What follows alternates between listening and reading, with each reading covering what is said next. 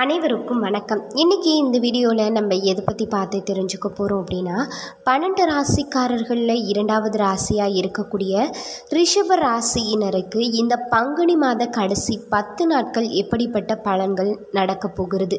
வரக்கூடிய குரு பயிற்சியானது உங்களுக்கு எப்படிப்பட்ட பலன்களை கொடுக்க போகிறது? நன்மைகள் அதிகம் நிகழப்போகிறதா இல்லை ஏதாவது பிரச்சனை ஏற்பட போகிறதா?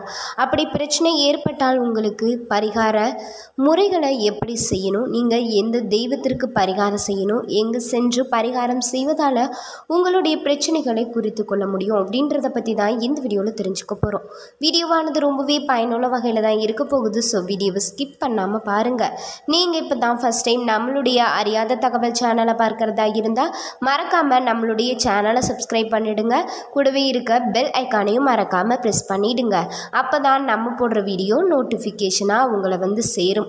வாங்க வீடியோக்குள்ளே போ போகலாம்.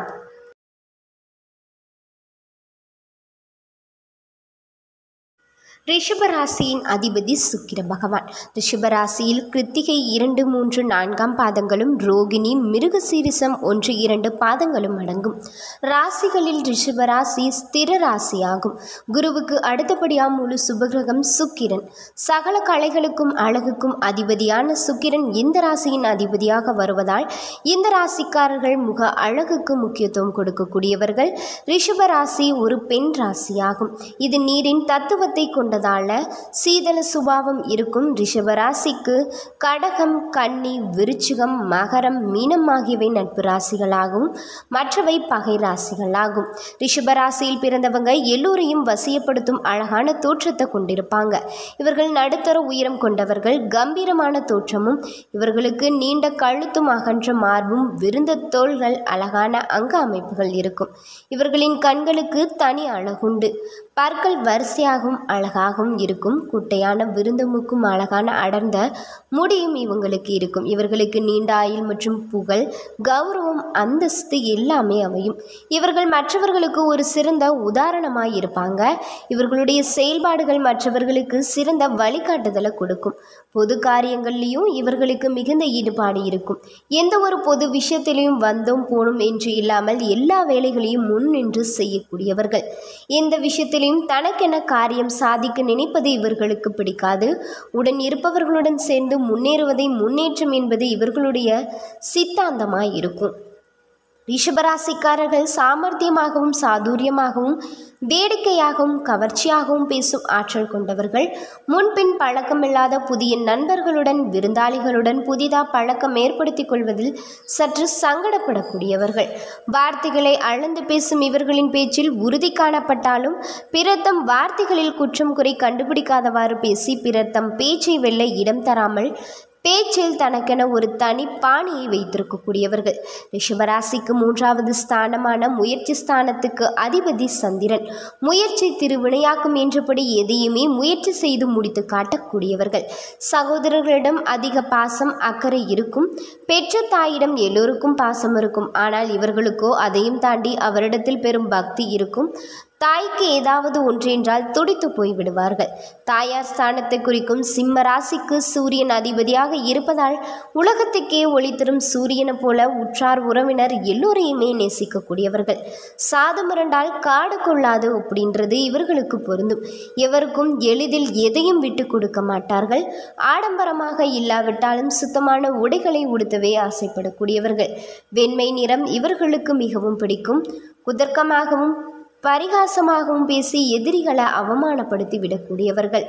ரிஷபராசிக்காரர்கள் கடின உழைப்பாளியாக இருப்பாங்க கலைத்துறை இசைத்துறையில் நாட்டம் அதிகம் இருக்கும். இவர்கள் மத்திய வயதில்தான் சுகபோகமான வாழ்வு அமையும். எந்த கஷ்டத்தையும் தாங்கக்கூடிய சகிப்புத்தன்மையுடன் கூடிய இவர்களிடத்தில் அதிகம் இருக்கும். இவர்களுக்கு பகைவர்களே இருக்க மாட்டாங்க. இதற்காக எதிரிகளே நமக்கு இல்லை என்று சந்தோஷம் அடையவும் முடியாது. இவர்களுக்கு எதிரி இவர்களே உள்ளேயே இருப்பான். இவர்களை பொறுத்தவரை இவர்களின் எதிரி இவர்களே தான் இவர்களுடைய பேச்சு செயல்கள் அனைத்தும் இவர்களையே எதிர்பாராதபடி ஒரு பக்கம் விளைவை ஏற்படுத்தும். இதனால் பேசும்போதும் செயல்படும் போதும் கனிவும் அதீத கவனமும் உங்களுக்கு தேவை. ரிஷபராசியில் பிறந்தவங்க நல்ல ஞாபக சக்தி கொண்டவர்கள். தற்பெருமைக்கும் புகழ்ச்சிக்கும் ஆசைப்படாதவர்கள். எதற்கும் உணர்ச்சி வசப்பட மாட்டாங்க. பிறருக்கு உதவி செய்வதிலும் தன்னலம் இல்லாமல் செயல்படக்கூடியவர்கள். தன்னம்பிக்கையும் தைரியமும் அதிகம் கொண்டவர்கள். பார்ப்பதற்கு சாதாரணமாய் இருந்தாலும் யார் வம்புக்கு வந்தாலும் ஓட ஓட விரட்டி அடிப்பார்கள். இவர்களுடைய வாழ்க்கை துணை இவர்களை விட வேகமாய் இருப்பாங்க.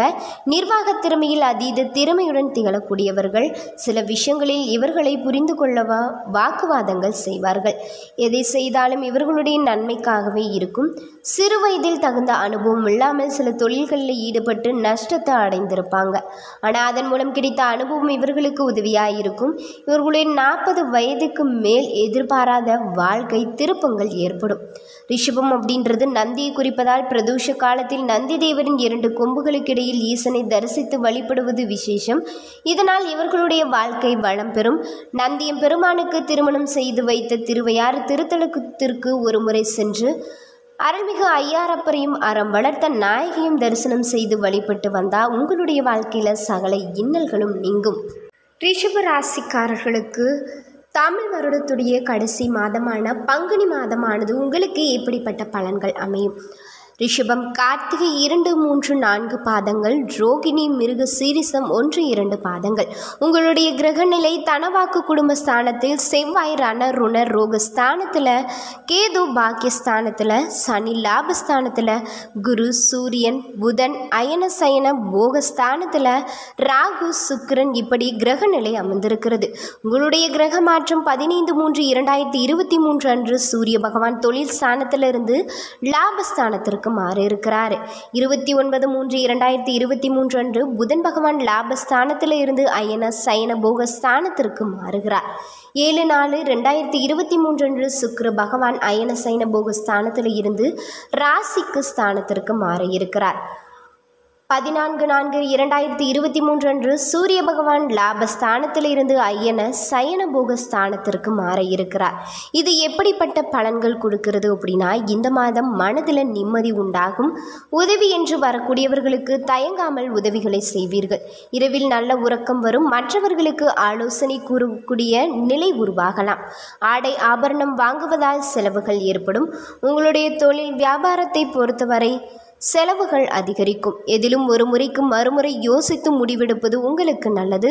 உத்தியோகத்தில் இருக்கக்கூடியவர்கள் நிதானத்தை கடைபிடிப்பது ரொம்ப நல்லது. இல்லையில் பலரையும் விரோதித்து கொள்ள வேண்டியிருக்கும். வரவேண்டிய பணம் உங்களுக்கு கட்டாயம் வந்து சேரும். நீண்ட நாட்களாக எதிர்பார்த்த பதவி உயர்வு இடமாற்றம் கிடைக்கும். பணி நிமித்தமாக வெளியூர் பயணம் செய்ய வேண்டியிருக்கும். குடும்பத்தில் இருக்கக்கூடியவர்கள் உங்களுடைய யோசனையை கேட்டு நடந்து கொள்வது மனதிற்கு திருப்தியை தரும். கணவன் மனைவிக்கிடையே இருக்கக்கூடிய அன்பு நீடிக்கும். பிள்ளைகளுக்கு தேவையான பொருட்களை வாங்கி கொடுத்து மகிழ்வீங்க. விருந்தினர் வருகை இருக்கும். தந்தை வழியிலிருந்து வந்த கருத்து மோதல்கள் அகலும்.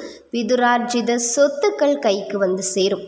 பெண்களுக்கு உங்களுடைய ஆலோசனைகளை கேட்டு அதன்படி சிலர் நடந்து காரிய வெற்றி அடைவீங்க. தேவையான பொருட்களை வாங்கி மகிழக்கூடிய மாதமாக இந்த பங்குனி மாதம் உங்களுக்கு அமையும். கலைத்துறையினருக்கு இருந்த போட்டிகள் அகன்று தடைப்பட்ட பண உதவி கிடைக்கும். மறைமுக எதிர்ப்புகள் நீங்கிய செயல்களில் வேகம் காண்பீர்கள். செலவுகள் குறையும். உடன் பணிபுரியுபவர்கள் உங்களுடைய ஆலோசனைகளை கேட்பார்கள் அரசியல் துறையினருக்கு நீங்கள் செய்யும் காரியங்களுக்கு இருந்த தடை நீங்கும். எதிர்ப்புகள் விலகி பண வரத்து கூடும். சக தோழர்களிடம் இருந்த கருத்து வேற்றுமை குறையும் பணவரத்து கூடும் செயல் திறமை உங்களுக்கு அதிகரிக்கும். மாணவர்களுக்கு பொறுத்தவரை வீண் அலைச்சலை குறைத்து கொண்டு கல்வியில் கவனம் செலுத்துவது உங்களுக்கு நன்மையை கொடுக்கும். கார்த்திகை நட்சத்திரக்காரர்களுக்கு எப்படிப்பட்ட பலன்கள் அமையும் அப்படின்னா இந்த மாதம் பேச்சை கட்டுப்படுத்திக் கொள்வது நன்மையை கொடுக்கும். எதை பேசினாலும் வார்த்தைகளில் நிதானத்தை கடைபிடிப்பது உங்களுக்கு நன்மை கொடுக்கும். ராஜாங்க ரீதியிலான காரியங்கள் கை கொடுக்கும். வழக்குகளில் சாதகமான போக்கு காணப்படும். பொருள் சேர்க்கை ஏற்படும். சிற்றின்ப செலவுகள் அதிகரிக்கும். நண்பர்களுக்கு உதவி செய்வீங்க.